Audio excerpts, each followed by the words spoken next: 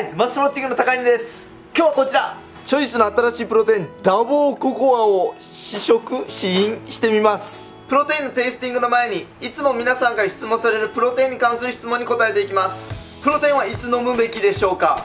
僕は朝食で飲んでるんですけれども筋トレする人は筋トレの後に飲んでもらってもいいです。筋トレの後は有酸素運動をするんですがその場合はプロテインはいつ飲んだらいいでしょうか？筋トレの後飲んで有酸素運動してもいいですしそれだとお腹がチャポンチャポンするという人は筋トレしながら飲んでもらってもいいですしもしくはも筋トレの前にプロテイン飲んでも構いません。飲んですぐ吸収されるものではないので飲んでしばらく経ってから吸収されだしていきます。でもゴールデンタイムに飲んだ方がいいと聞いてます。筋トレの30分以内じゃないんですかと。そうしたければそれを優先してください。何を優先するかはあなた次第ですが僕からするといつとってもあんま変わんないです。1日何回飲めばいいですか？これもよく聞かれるんですがめちゃくちゃ筋トレする人たちはすごい回数のプロテインを飲みます。でも一般の人だったら1日1回で構いません。筋トレしないのにプロテインを飲んだら太ってしまいますか？筋トレしない人でも1日1回プロテインを飲んだ方がいいです。美容と健康肌とかツヤとか爪とか髪とかの健康のためにいいです。プロテインのカロリーって、まあ、せいぜい1杯飲んで100キロカロリーとか200キロカロリーとかそんなもんですから太る原因にはならないと思います。その分普段食べてたお菓子とかジュースとかを減らせばカロリー的にも同じにできます。プロテインを飲むとお腹を壊してしまいます。こういう人は乳糖不対症の可能性があります。もしくは僕みたいに人工甘味料に対してお腹を壊してる人もいると思います。遺伝子組み換えじゃなくて人工甘味料が入っていない。今回紹介するチョイスのプロテインで一度試してみてください。もしそれでもお腹を壊す場合は諦めてアミノ酸を飲みましょう。お腹を壊す理由はいろいろあります。プロテインを一気飲みしてしまう人。一気飲みすれば当然お腹を壊しやすくなりますしすごく氷とか冷たい水とかで飲む人。これもお腹を下す原因になってしまいますので常温でゆっくりと飲んでください。それからプロテインを飲むタイミングもあります。お腹を壊しやすい人でも胃腸の動きが良くなってきた。昼過ぎぐらいに飲んでもらったらお腹を壊さないという人もいます。自分が何時に飲んだらお腹を壊してしまうのかそれを調査してみてください。ソイプロテインを飲んでもいいですか？ソイプロテインっていうのは一般的には世界では飲まれていません。海外のプロテインを見るとソイフリーとわざわざ書いてあります。ソイが入ってないです。安心して飲んでください。なぜかというと遺伝子組み換えされてる可能性がソイにはあるからです。そして多くの点でソイプロテインよりホエイプロテインの方が優れているという結果が出ています。ウェイトダウンというキャッチコピーに騙されないように。普通の人はホエイプロテインを飲んでください。どうしてもそういうプロテインが好きな人はもう飲めばいいでしょう。人工甘味料とは具体的に何ですか？アスパルテムやスクラロースという風に表記されています。それ以外にもカタカナでよくわからない甘味料が書いてあったらおそらく人工甘味料です。ググったらすぐ分かります。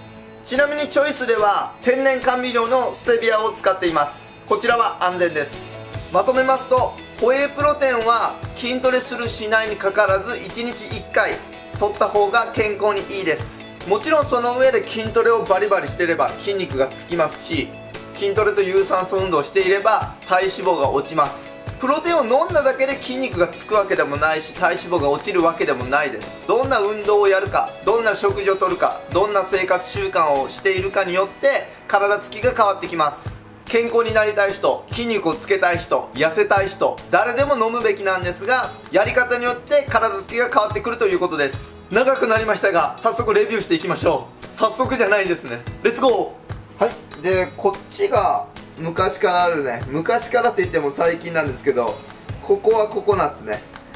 で新しく出たのがダブルココア。味どのぐらい違うんでしょうね。ちなみに僕かなりねプロテインのストックたくさんあります。6袋もある。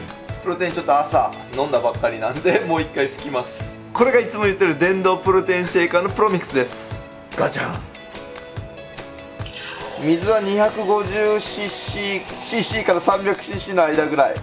300cc かな？はい色味のチェックしましょう。こっちがダブルココア。こっちがココアココナッツ。同じですね。色は同じような感じ。プロテインの正しい作り方はまずスクリューを作りますこの中にプロテインを2スクープ入れます。おおこれ結構匂いがやっぱりめちゃくちゃココアです。ダブルココアの匂い。いややっぱりちょっと匂いがね違いますねいつものと。テイスティングタイムまあ味はややココア味がいつもより濃ゆいぐらいの感じでしょうか。匂いとコクが少し強くなったかなというようなイメージですね。なのでこのココアココナッツを飲んでた人には違和感なく飲める味です。まあどっちにしろめちゃくちゃうまいですね。ダブルココアもうまいし前のココアココナッツもめちゃくちゃうまいです。このねチアシードの食感が僕は好きですね。でパッケージの裏見てもらったら、まあ、若干だけタンパク質の量とか違ったりしますけどまあまあほぼ一緒ですね。僕はいつも毎朝朝食としてケトプロテインを飲んでいます。筋肉をつけて体脂肪を減らしたい人にはぴったりです。でそこら辺の安いプロテインと何が違うかというとえー、牧草大自然で育った牧草牛。これ結構高いんですよね。高い牛から取れた牛乳を使っている。でチアシードココア MCT も配合してますと。さらに BC30 乳酸菌という体の中で活性化してくれる乳酸菌も入ってます。あと安いプロテインだったらこの GMO 遺伝子組み換えされてるものとか関わってるものとか多いんですけれどもチョイスは GMO フリー遺伝子組み換えに関わってません。そして甘味料。人工の甘味料ではありません。人工甘味料でお腹を壊す壊す人多いです。天然甘味料のステビアを使ってます。含有量こちら 45g あたりのものが書かれてます。タンパク質だけ取ればいいというものではありません。タンパク質脂質炭水化物をバランスよく取れるのがこのケトプロテインの特徴です。炭水化物といっても食物繊維がかなり豊富に含まれています。シアシードの食物繊維です。その他プロテインに関する質問があったら動画のコメント欄にどしどしコメントお願いします。今日はケトプロテインダブルココアのシーンでした。めちゃめちゃうまかったです。以上です。